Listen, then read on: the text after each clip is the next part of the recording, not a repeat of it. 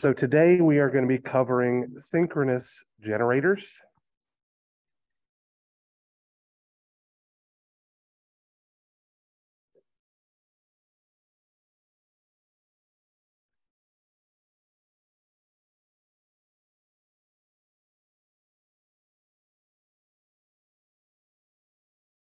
So let's start by talking about what they are and how they work.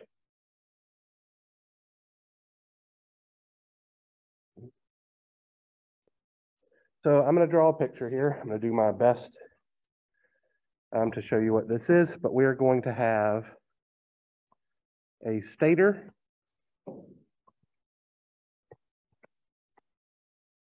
on the outside like so.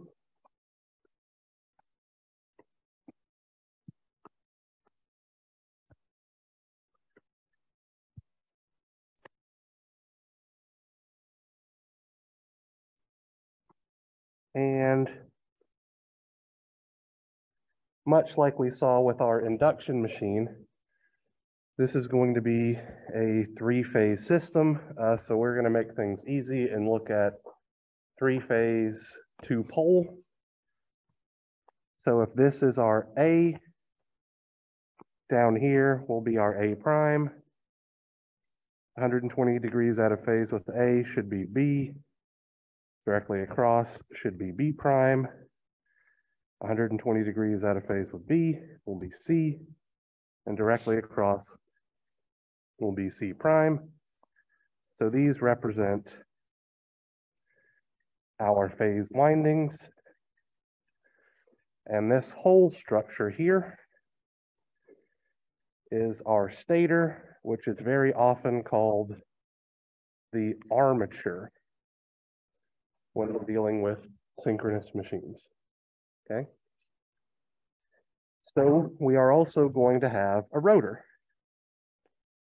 And our rotor is going to be pretty significantly different than what we saw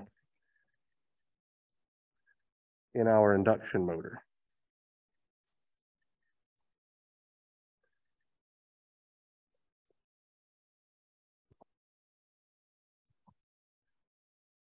So this is the physical structure of our rotor, also known as our field system. Okay. So in the very middle here, this is going to represent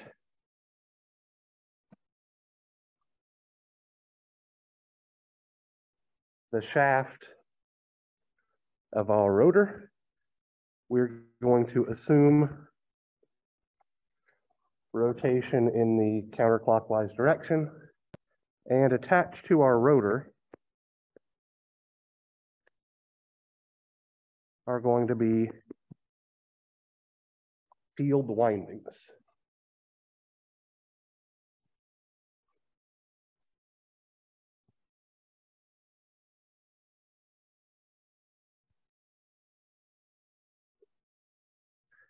These field windings are excited by a DC current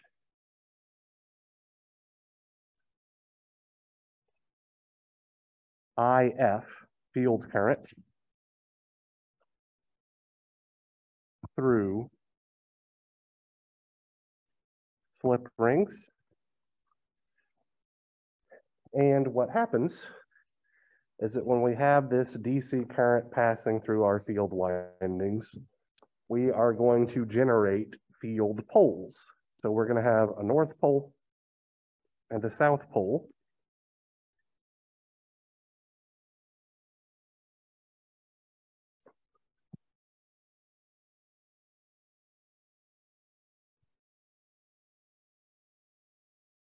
caused by our current IF.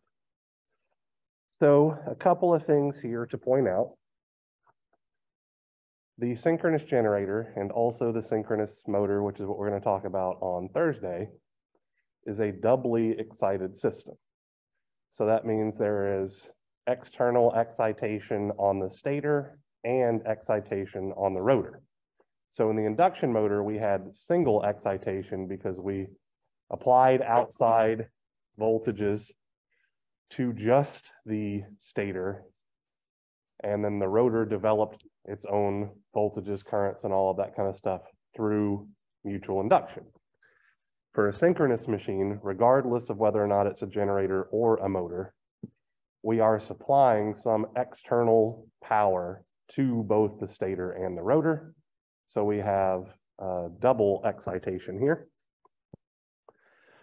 Um, another thing that is pretty darn different is that our rotor is an electromagnet, right?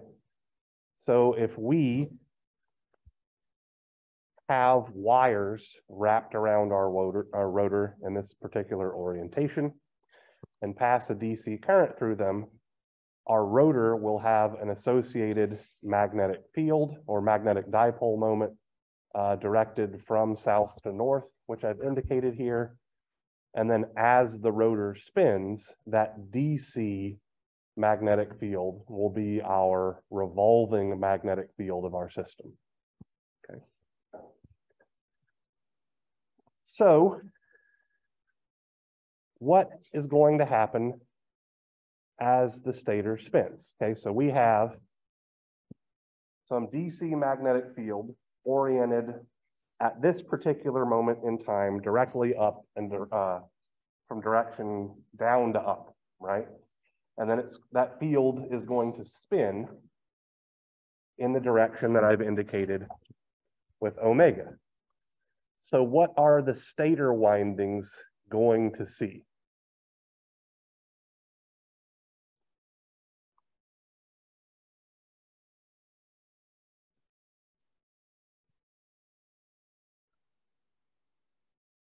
So in an induction machine, what did the rotor windings see when we had a rotating magnetic field? A changing flux. In this case, the rotor field is generating that revolving magnetic field, and the stator windings are going to see a changing flux. So this is really very similar to the classical example of a loop in a static magnetic field and what happens when you rotate the loop. But in this case, the loop is staying constant or staying flat, and the field is the thing that's rotating around. But either way, we're going to have induced voltage, right? So what we should see is an induced voltage in the A windings. That's going to be lowercase e because we're looking at an induced voltage.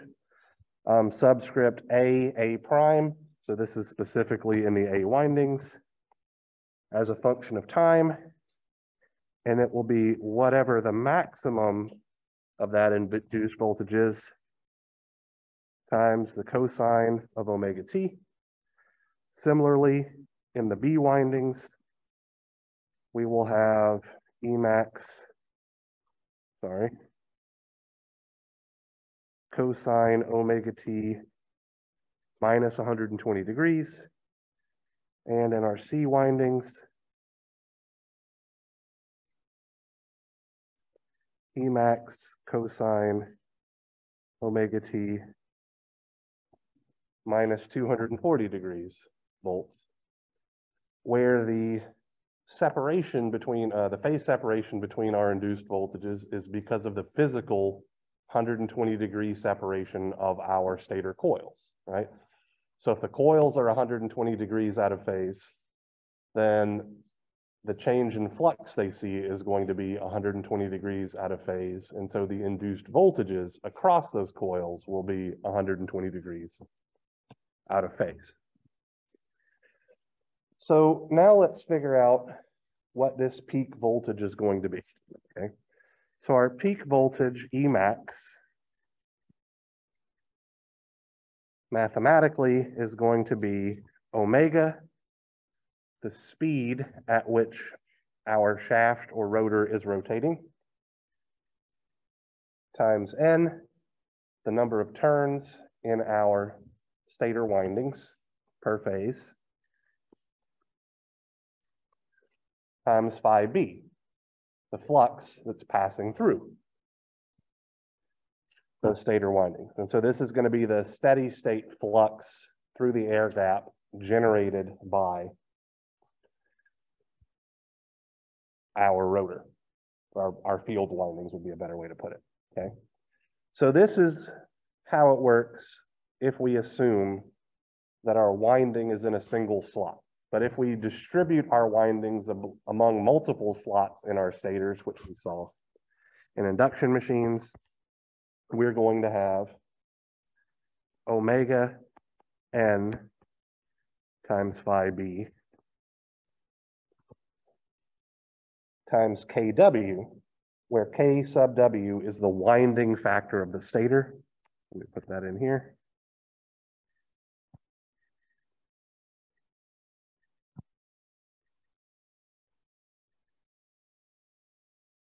And numerically, KW will always be slightly less than one. Finally, we can relate this to the frequency at which the rotor is spinning by simply saying that omega is equal to two pi f. So we'll have two pi f times n times phi b times kw, where I want to be specific here. N is the number of turns per phase in the stator windings.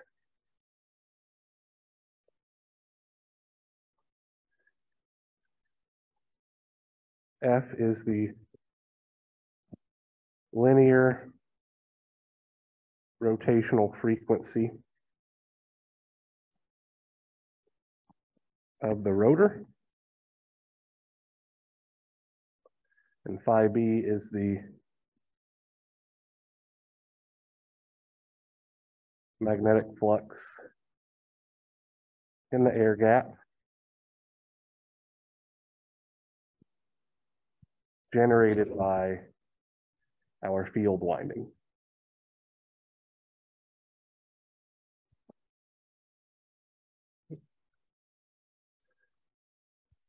So from here, we can see that the time varying voltage induced across the A phase of our windings is going to be 2 pi f n phi b kw cosine omega t volts, which has an RMS voltage.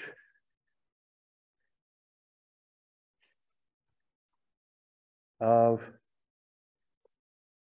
2 pi over root 2 Fn phi b kw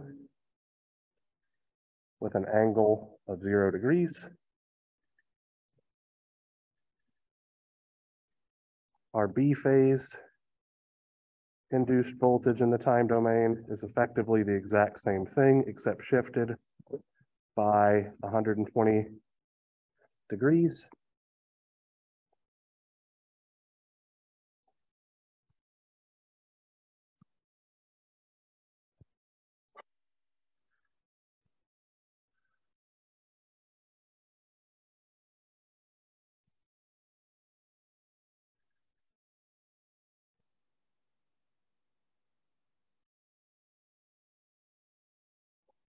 And the C phase,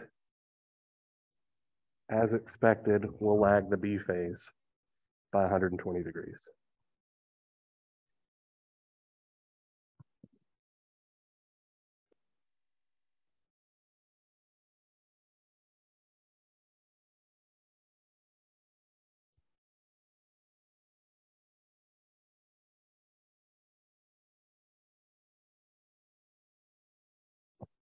Sorry, I put the square root sign up top when it definitely should not have been there.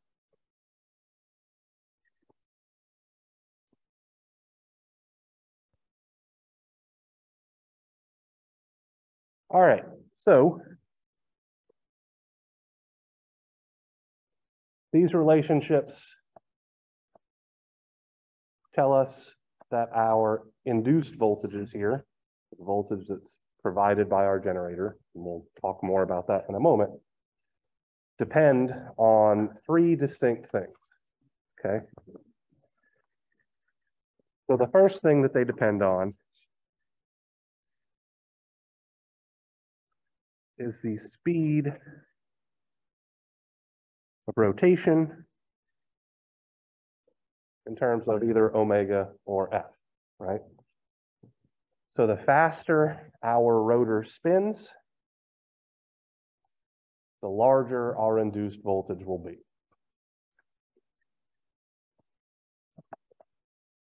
The second thing that our induced voltage depends on is the flux generated by the field windings.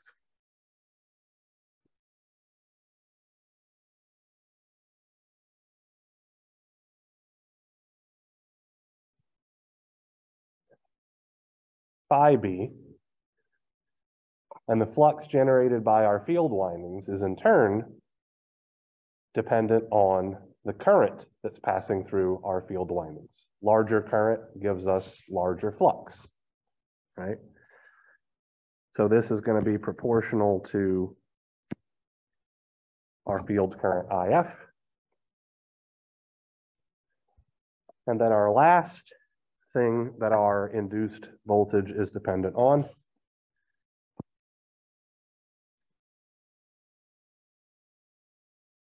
is the construction of the machine itself. So the number of turns in the windings, the winding factor, and also the number of poles, which isn't showing up here because we're only looking at a two-pole system. Um, but as we learned looking at induction motors, our synchronous speed is dependent upon the number of poles. For an induction motor, the synchronous speed for an induction motor and the synchronous speed for a synchronous motor represent literally the exact same thing. All right, so let's work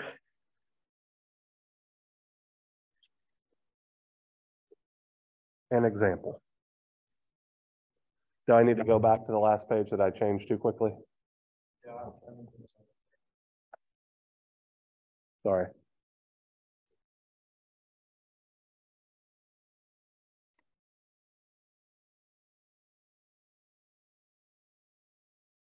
You're rubbing your hand too early, Nick.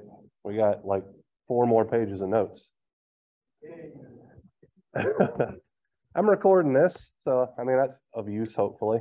Uh, just as a heads up, I did edit and post the videos and all that kind of stuff for all of our induction machine jazz. And then I also uploaded another homework set that's due on Saturday to give you guys plenty of time to go at it. Yes, Nick.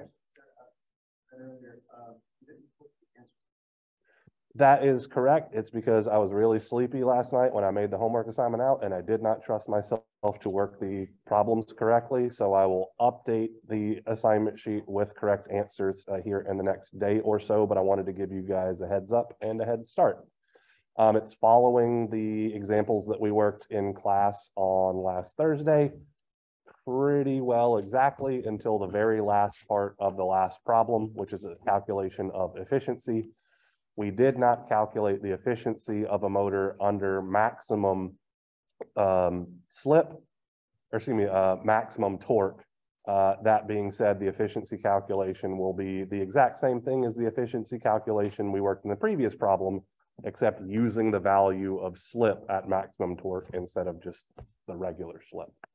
So while we didn't work it specifically, we worked something close enough that I feel very comfortable asking you guys to do it. So, uh, but I will get those answers to you guys as soon as I possibly can. And hopefully within a, a day or two prior to when it's due, so that you have time to look at things and make any adjustments should you feel they're necessary. All right. So back to our example. We have a two-pole three-phase synchronous generator.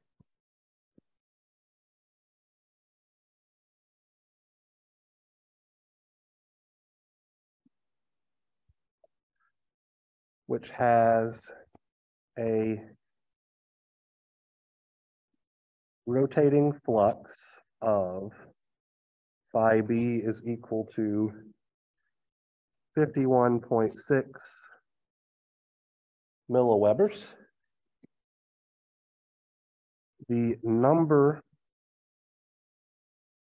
of turns in each phase coil is N is equal to twenty turns.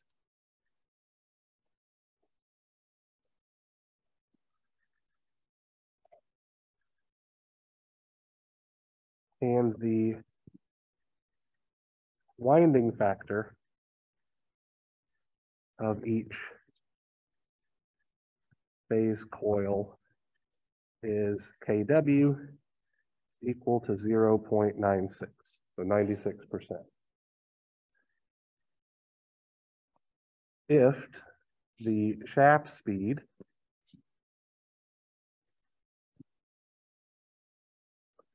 is three thousand RPM,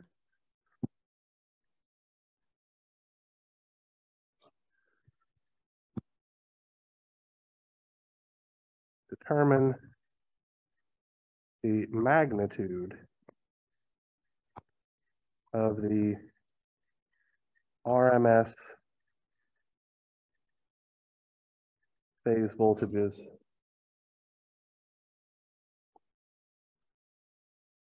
of the generator. And we're looking here specifically for the induced voltages, okay?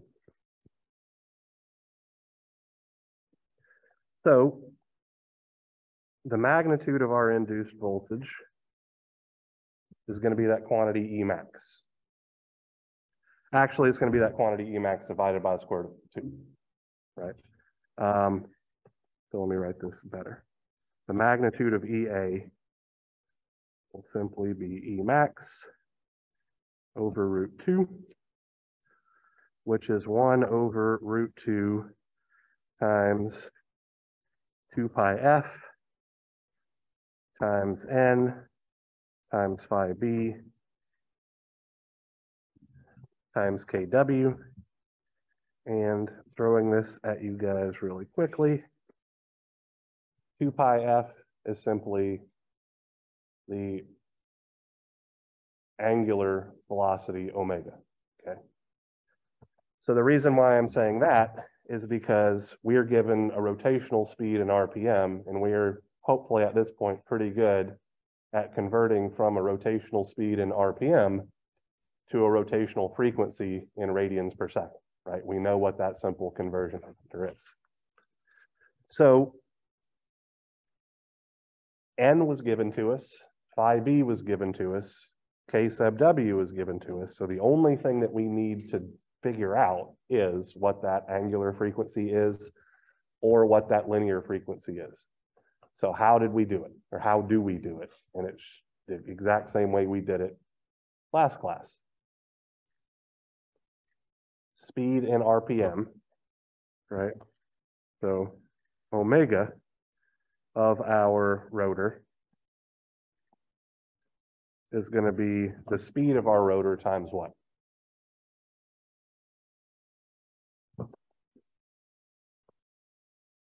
Is a conversion factor. So we don't have slip or anything like that in a synchronous machine. And also, we're not looking at a motor anyway. So this is literally just straight conversion of units effectively. 2 pi over 60. Thank you so much.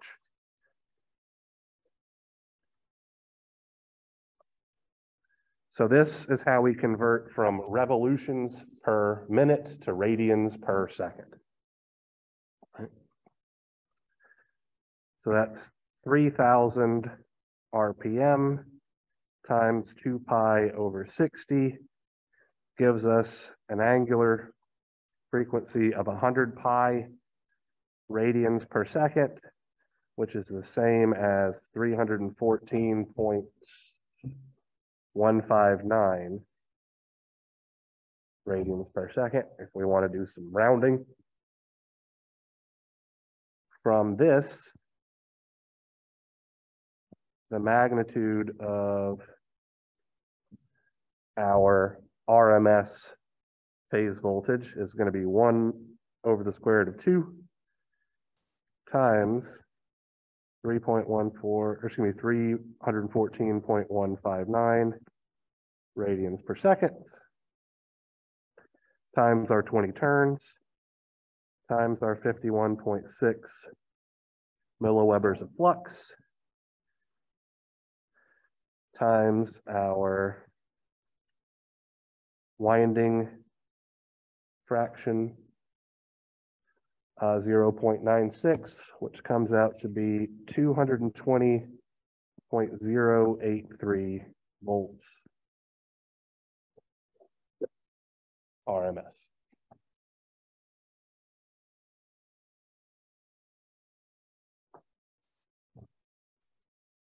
All right, so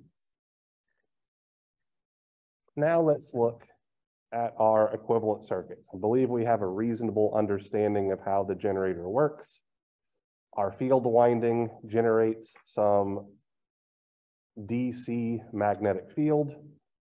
The rotation of our field windings causes a uh, the stator windings to see a changing magnetic flux, and then the voltage induced in that magnetic, uh, excuse me, induced by that changing magnetic flux is literally what we just calculated, right? So we have rotation causing the creation of voltages, which is exactly what a generator does. So now we're going to look at our equivalent circuit, okay? So I am just going to draw something here.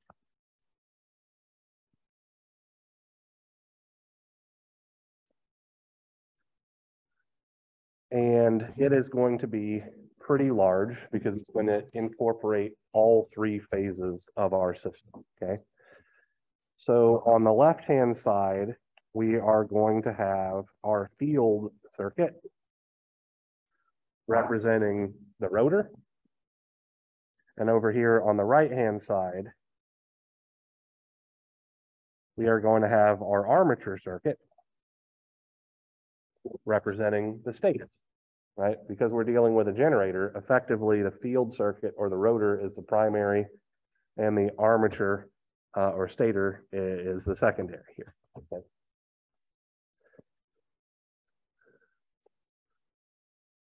So I'm going to start by drawing the stator circuits um, because there are three of them, so I want to make it sure it looks correct.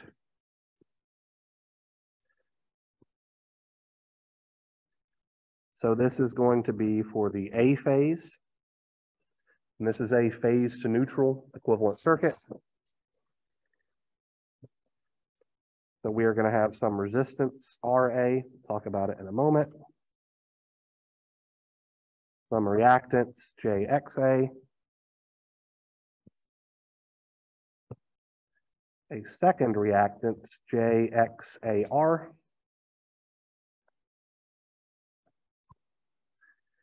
And then a set of terminals, right? Across this set of terminals will be a voltage, which I'm going to call V phi. So this is our phase voltage at the A phase. And so this is the true output of the generator, okay?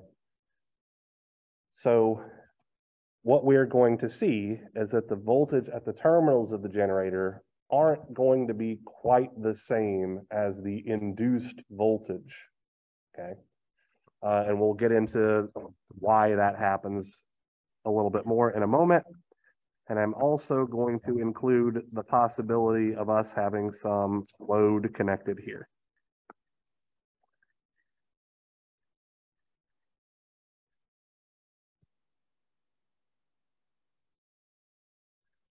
We are going to have two more of these circuits that are going to be exactly identical to this, one for the B phase and one for the C phase.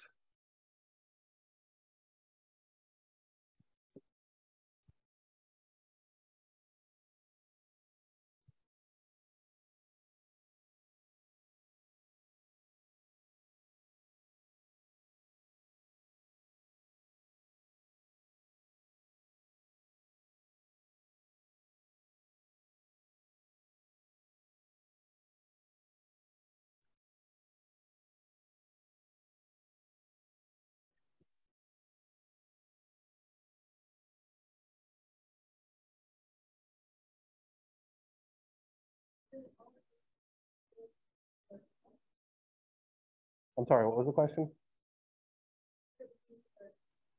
So the only thing that's going to have a B subscript is the induced voltage and the phase voltage. The resistances and reactances are going to be the exact same through each phase. So the subscript A's on the resistance is the armature resistance. Um, XA is the leakage reactance in the armature. And then XAR is due to a process called armature reaction. So effectively, the, the subscripts on the resistance and the inductances are, is going to be A and AR for all of the different phases because they're going to be the exact same values for all of the different phases. I hope that was clear and also answered what you were asking.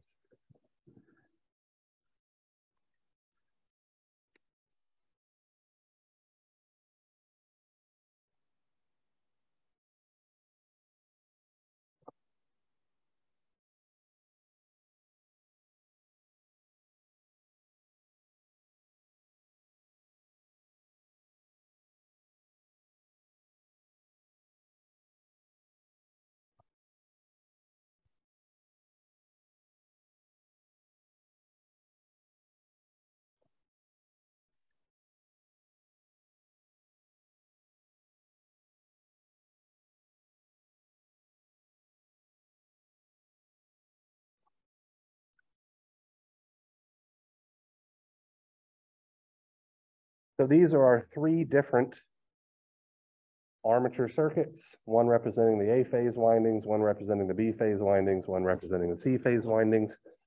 So on the opposite side here, we are going to have our rotor or field circuit. So I have the reactance of my field windings, and this is representing my rotating field coupling to those three stator circuits.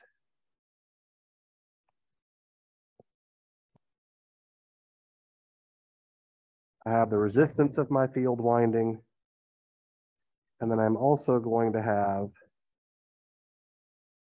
some adjustable resistance. And then on the left-hand side, way over here, is my field voltage, which is a DC quantity. And so this current represents the field current. And I can go ahead and represent my armature currents, IA, IB, and I in their respective parts of my diagram. So this is the total three-phase equivalent circuit for a synchronous generator. Now, we're not going to use the three-phase equivalent circuit. We're going to wind up simplifying it down to a single equivalent circuit on a per-phase basis, okay? Um, one thing that I do want to point out here is that because right now we're looking at how this machine works as a generator, the field winding part of everything or the, the field circuit really doesn't matter to us as long as we know how to calculate the induced voltage, which is exactly what we just figured out a few moments ago, right? So from here on out, I'm gonna throw away that field circuit. We're just going to look at the armature or stator circuit, right? So in the armature circuit, RA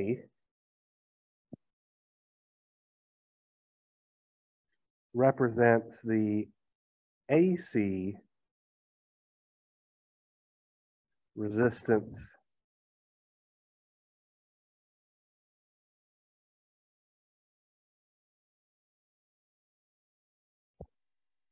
of the armature windings. Okay.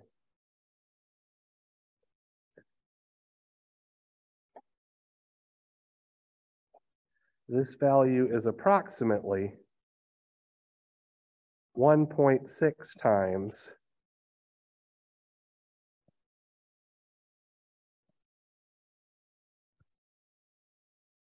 the DC resistance.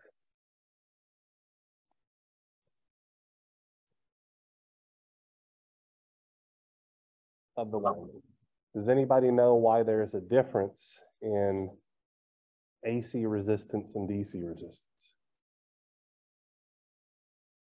You guys ever heard of anything called the skin effect? Skin, S-K-I-N. Okay.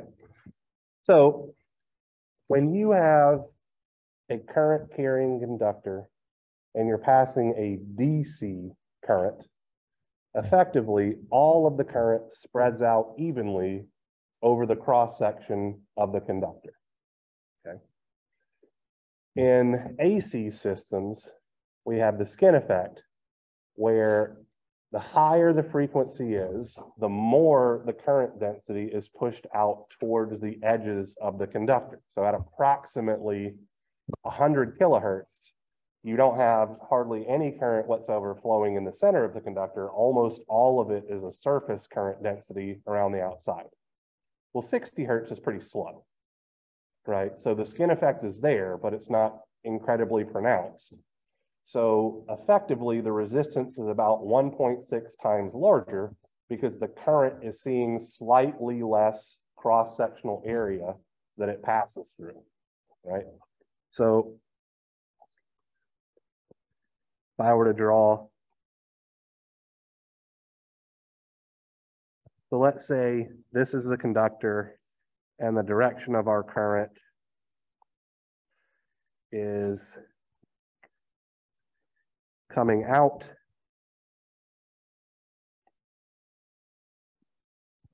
We have a DC current. All of the cross section carries some part of the current.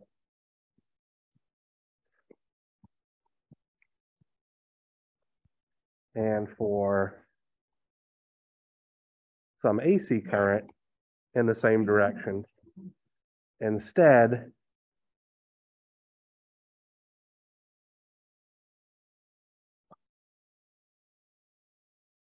we would see that only a portion of the cross-sectional area carries current. And this distance is called the skin depth, which varies as a function of frequency.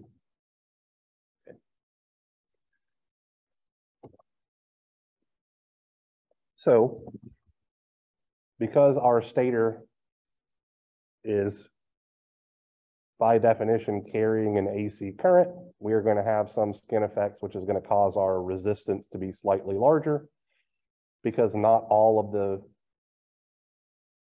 cross-sectional area of our conductor is actually carrying current, right? And as we hopefully know, but I'm not sure if you guys have covered this, resistance is equal to electrical resistivity times length divided by cross-sectional area. So if the cross-sectional area is smaller, the resistance is larger.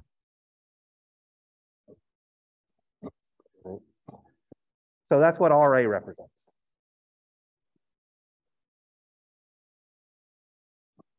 XA represents the self-inductance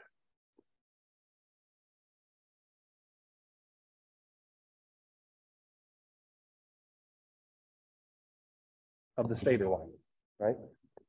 So we have a coil. And we know that a coil of wire exhibits self-inductance. So that's what XA takes into account. XAR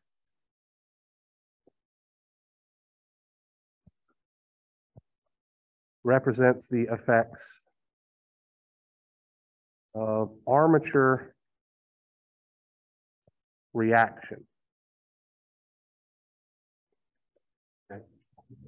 So armature reaction is an interesting thing here, okay?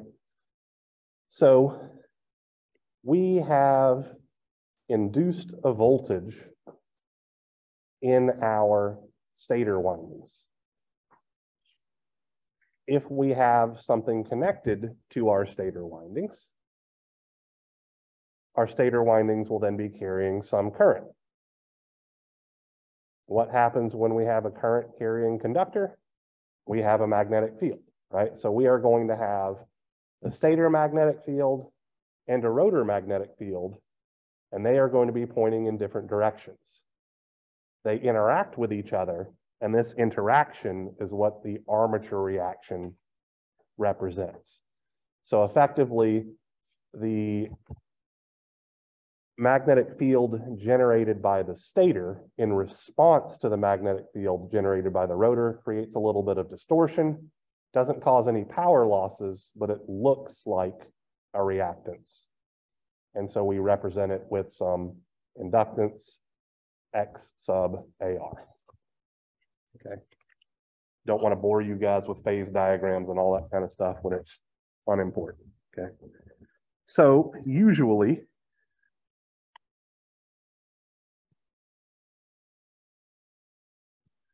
XA and XAR.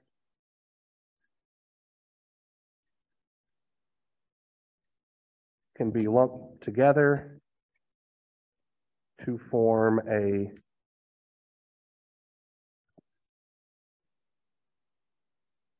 synchronous reactance. So our synchronous reactance is simply the sum of XA and XAR. And from this, we can get a simple per phase armature equivalent circuit.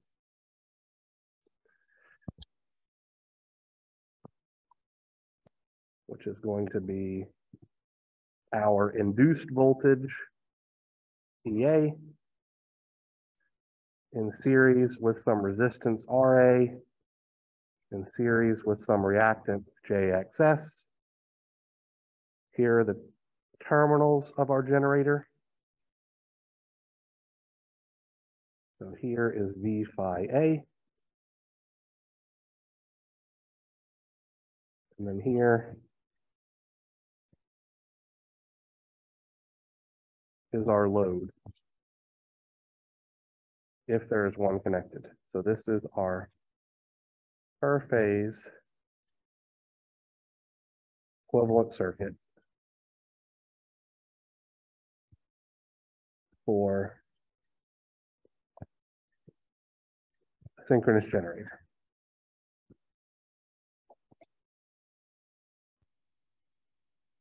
This circuit, yes.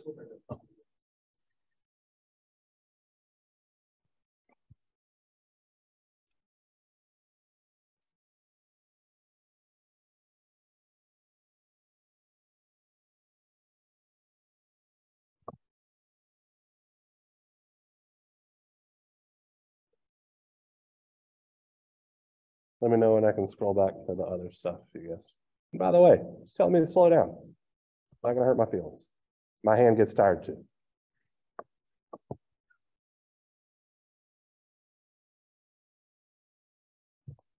We good? Yes, no problem. I was just making sure because there are lots of other people writing things down too. Yeah. Here's our per phase equivalent circuit let you guys finish copying this down before I go on another one of my rants.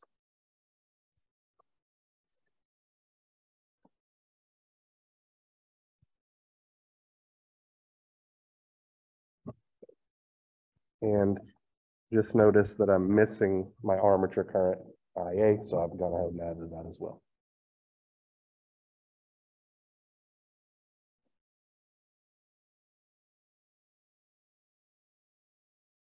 All right, so this is a pretty straightforward equivalent circuit to put into practice because it's just a single loop circuit. Nothing real wild or crazy here, okay? So if we want to find our voltage at the output terminals of our generator in terms of our induced voltage, what would we do, right? So we can say that the voltage V phi A is going to be EA, our induced voltage, minus our armature current multiplied by our armature impedance. So what does this equation imply? Our induced voltage is overwhelming majority of the time going to be different than the voltage that we see at the terminals of our generator. In fact, the only time they will be the same is under a no load condition when effectively, yep, exactly right, I is equal to zero. So for loads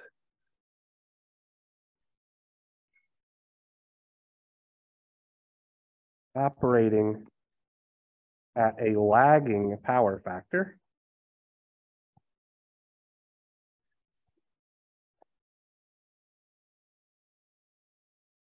The magnitude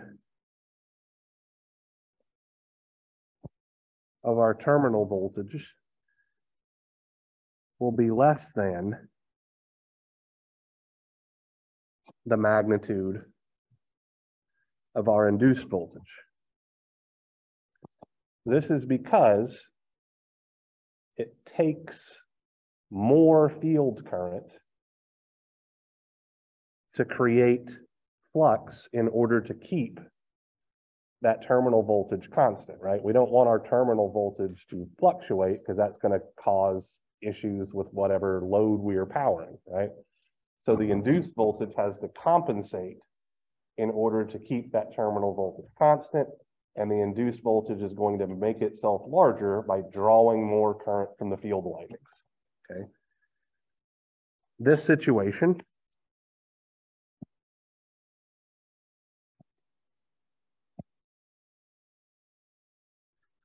is called over excitation.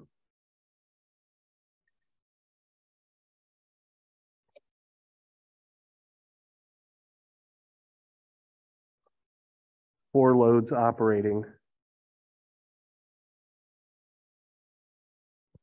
at a leading power factor, we'll have the opposite.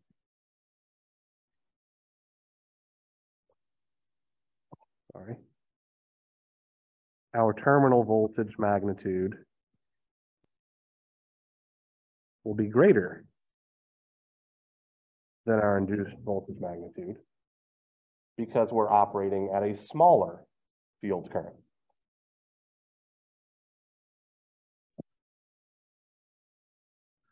This situation is called under excitation.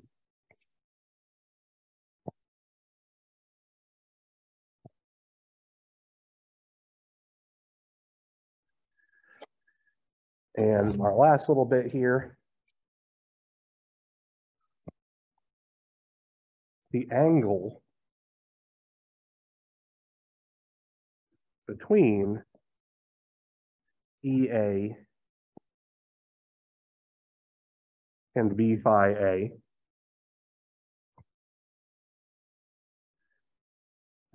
is called the power angle or torque angle and it's given the sine delta. So this is the angle of EA minus the angle of E phi A. Now, for a generator, this angle doesn't really mean a whole heck of a lot. In a motor, this angle is critically important because the closer it is to ninety degrees, the more torque we're developing. Okay, we'll talk about that on Saturday. So let me, I'll let you guys finish writing all this jazz down and then we'll work another example problem. Uh, lowercase delta. Gamma to me is this, that's lowercase gamma, and that's uppercase gamma.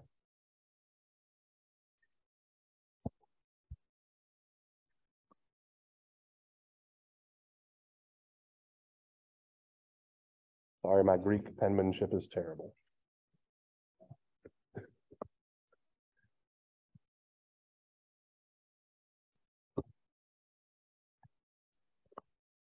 All right.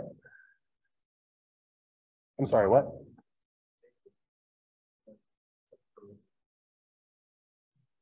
Delta.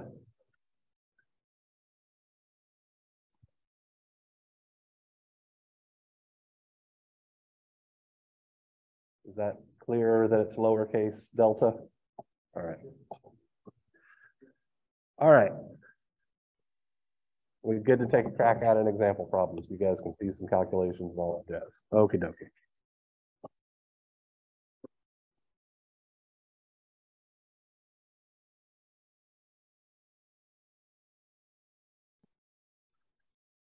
All right, so let's say that we have a three-phase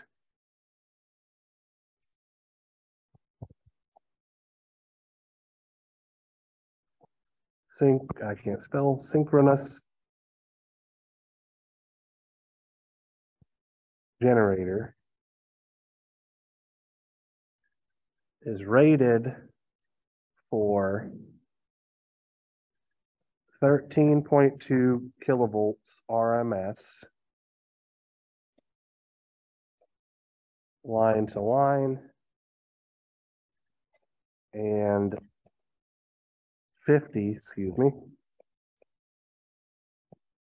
megavolt amperes.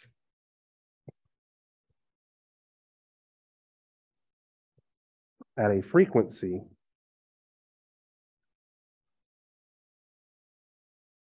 of sixty hertz.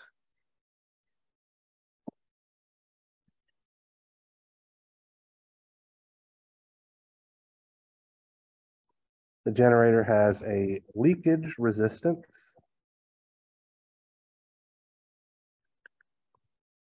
Of RA is equal to zero point one five ohms per phase.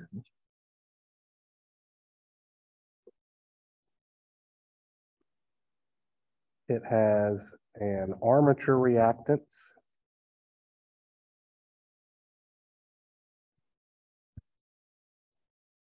of XAR is equal to two point one nine ohms per phase. And the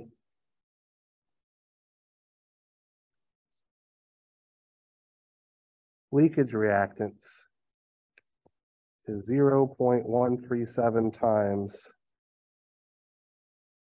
the armature reactance.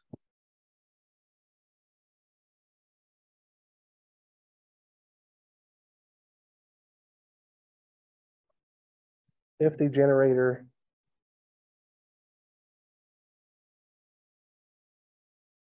Is supplying a load.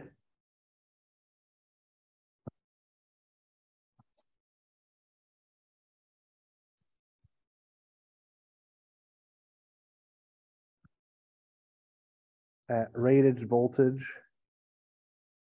and frequency, which operates at a power factor of zero point eight lagging.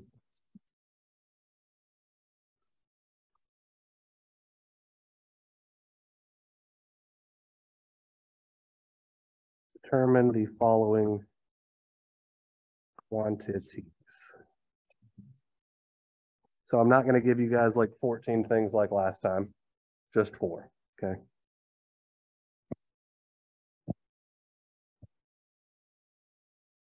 The synchronous reactance. X sub S.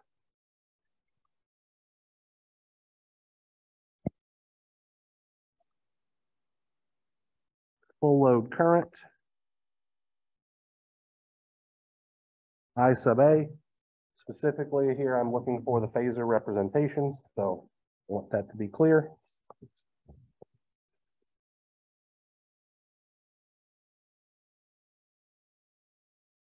The induced voltage.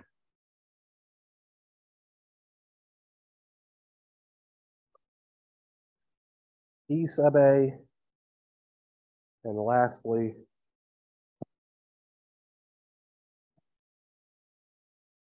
power angle delta.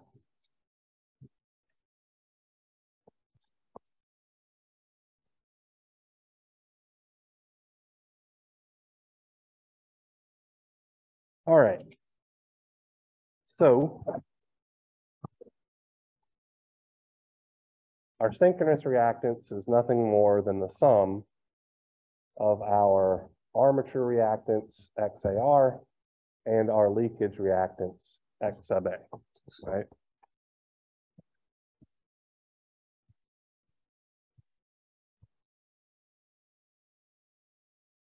Because our leakage reactance is expressed as a fraction of the armature reactance, this is just going to be one plus whatever that fraction is times X sub AR. So in this case, that's going to be one point one three seven times two point one nine ohms comes out to be two point four nine ohms. All right. That part's fairly straightforward. Full load current. Here is where things are a little bit trickier. Okay. So we need to figure out the current. What do we know?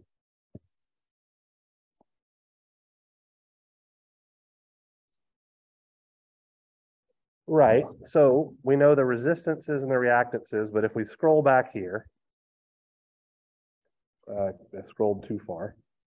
If we look at our equivalent circuit, in order to find that current, knowing the resistances and the reactances would require us to know both the induced voltage and the terminal voltage. And I would argue that we only know one of those things. We know or can figure out what our terminal voltage is because we're told that we're operating at rated voltage and we're told what rated voltage is on a line-to-line perspective. We're also told what the apparent power of our load is, right? So if we're operating at rated voltage, then we are drawing or we are supplying rated apparent power, 50 megavolt amperes. And I would argue that if we can figure out what our complex power is, and we can figure out what our terminal voltage is, we can figure out what our current is using three-phase power relationships. Does that make sense-ish? So what I'm suggesting is that for a three-phase system, the complex power that is provided by our generator will be three times the voltage times the complex conjugate of the current because it has to be. So from here, we could say that our current is the complex power supplied by our generator divided by three times our terminal voltage conjugate. And I believe that we have been provided enough information to calculate the complex power that's being supplied by our generator as well as the terminal voltage of our generator, right? So the complex power that is being supplied by our generator is the apparent power with a phase angle that is the inverse cosine of the power factor at which our load is operating. You guys agree with that? Have you seen things like that before? All right. So what's our apparent power from the problem statement?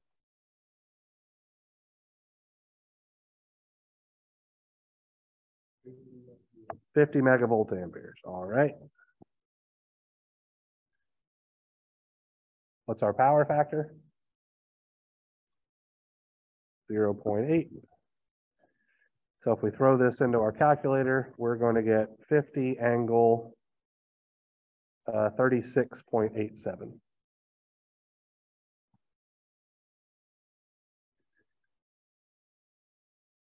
Mega volt amperes.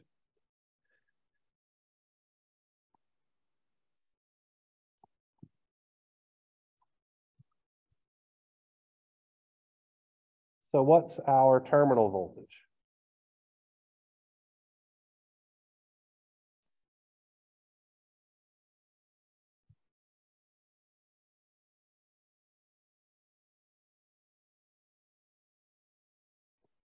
So the thirteen point two kilovolts RMS, let's assume a phase angle of zero.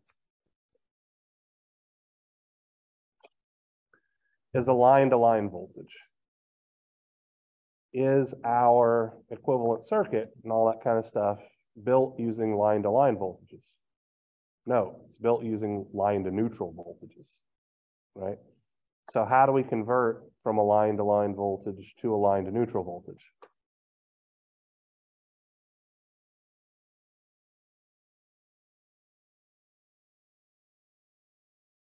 What's the conversion factor in three-phase systems for voltages? Square root of three. Now the question is, are we multiplying or are we dividing? So a line-to-line voltage is always going to be larger than a line to neutral voltage. So I would argue that we're supposed to divide.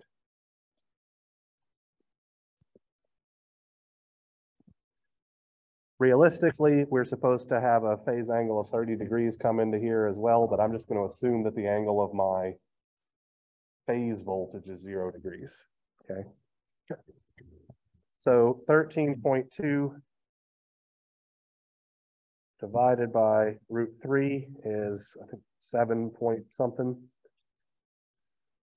Seven point six two one, angle zero degrees kilovolts RMS. Putting these two pieces of information into our equation. IA is going to be the conjugate of S gen. So how do I take the complex conjugate of an imaginary number? In polar form specifically?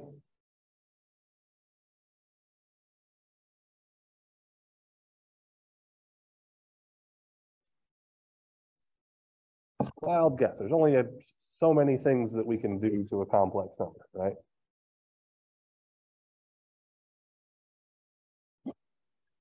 All right, I'm going to go to the next page here real quick. I'm going to wind up erasing this in a moment. Let's talk about what the complex conjugate operation means.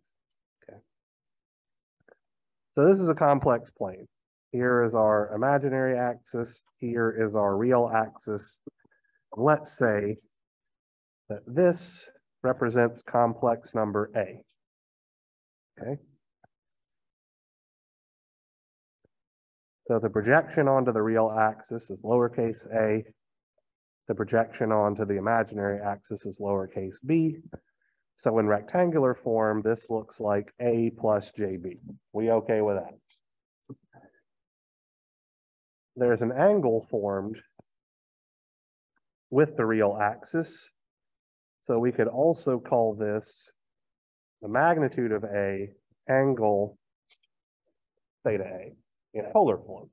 We okay with that? The conjugate of A looks like this. So this is A conjugate.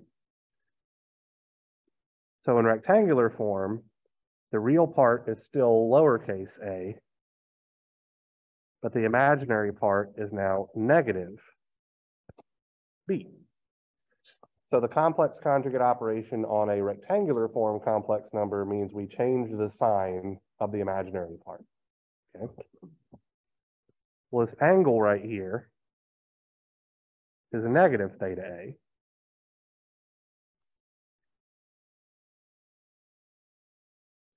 So to perform the complex conjugate operation on a polar form complex number, we simply change the sign on the angle, right? So scrolling back up here, what's the complex conjugate of my complex power? 50 angle negative 36.870.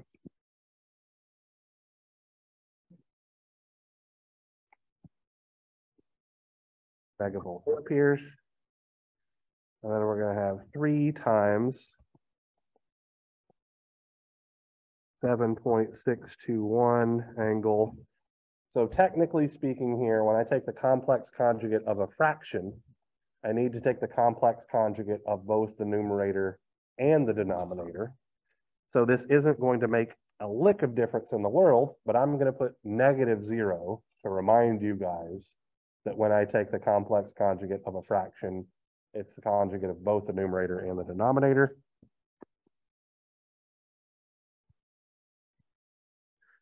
And when I do this math, what I wind up getting is 2.187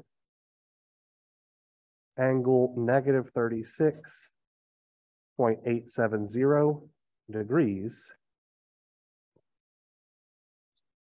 kiloamps RMS.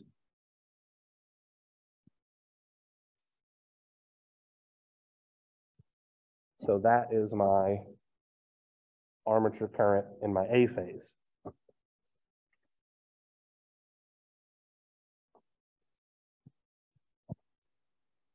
For part C, I'm now trying to figure out what my induced voltage is, so I'm going to use my equivalent circuit, right? So if we scroll up here, we were to write a Kirchhoff's voltage law equation around this loop, we'd find that our induced voltage is nothing more than the voltage drop over our inductance plus the voltage drop at our terminals, right? So that's going to look like V phi A, which we already know, plus IA, which we already know, times RA plus JXS. So seven point six two one angle zero degrees, kilovolts RMS plus two point one eight seven angle negative thirty-six point eight seven zero degrees, kiloamps RMS times zero point one five plus J two point four nine ohms. And this comes out to be eleven point nine zero one angle positive twenty point four five seven degrees kilovolts RMS. So this is our induced line to neutral voltage or phase voltage. in our generator. And then lastly, we want our power angle. So this is just the angle of EA minus the angle V phi A or twenty point four five seven degrees minus zero degrees. Five seven degrees. Anything particularly wild or crazy here, other than making you guys try to remember three-phase power relationships that you learned a year ago? All right. So the last thing that I want to talk about today, this is an extraordinarily brief topic, is voltage regulation. Um, so let me erase my little diagram here because I don't have enough pages in my thing.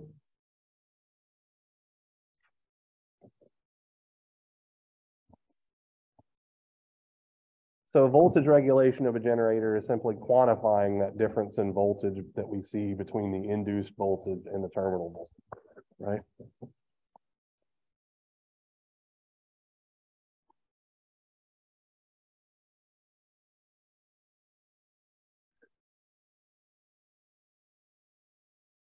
So the voltage regulation of a synchronous generator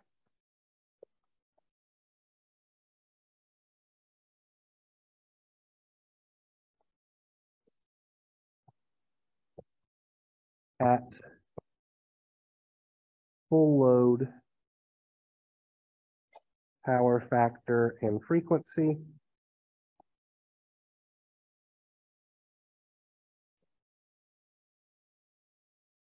Is defined as V reg, this is going to be a fraction, the magnitude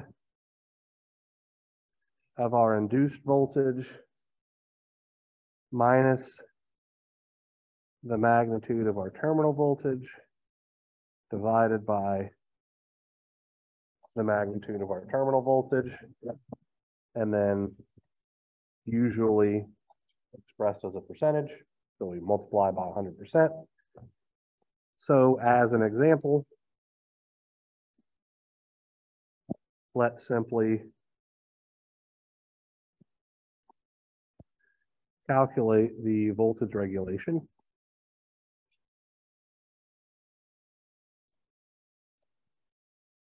of the generator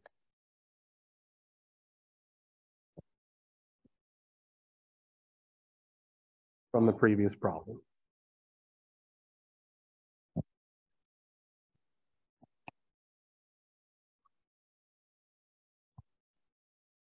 So this is just straight plug and chug, right? What was the magnitude of our induced voltage?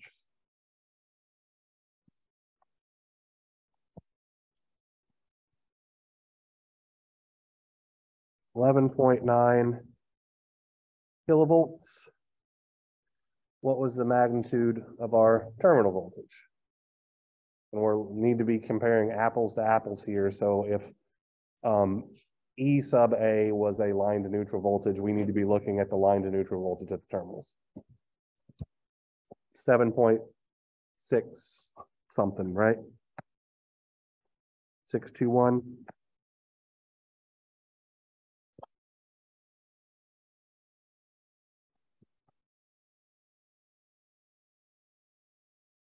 Multiply this by hundred percent. And our voltage regulation is fifty-six point one six zero.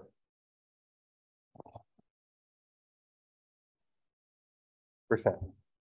So much like we saw with transformers, anytime we have an inductive load, we should see that our voltage regulation is a positive quantity. Anytime we are dealing with a capacitive load, our voltage regulation will be a negative quantity. Uh, that being said, in the transformers, we saw voltage regulations usually on the order of um, a few percent, and for generators, it's going to be significantly less depending on the size of the load and all that kind of good stuff. All right, that is enough out of me for today. So um, we're knocking off roughly thirty minutes early. Anybody got any questions before I go get a sandwich?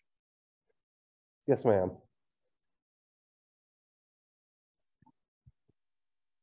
That's correct. Yes, and, that's because for an inductive load, we know that the magnitude of EA should be larger than the magnitude of the terminal voltages, and for a capacitive load, it should be the other way around. So the voltage regulation will have to be negative if the magnitude of EA is smaller than the terminal voltage.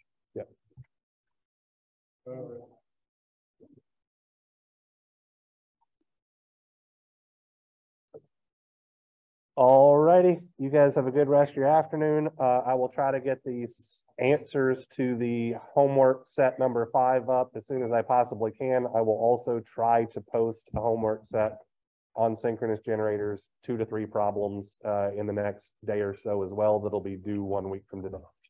Yes. Um, I am very hopeful that I will get back your exam scores to you before the drop date on Friday. That being said, let me, actually, I I don't give a shit if I record this. Um, since this is my first time teaching the class, I am going to be, um, your exam scores might not be great, but I'm going to be rather generous with curving and things like that. So I would not worry about stuff too much. Like, I'm not gonna give everybody an A by any stretch of the imagination. But I understand that it's your first time seeing this, it's my first time teaching this. And so there are going to be fundamental disconnects and things like that. So I'm gonna try not to be as much of a jerk as I usually am. So that's my goal.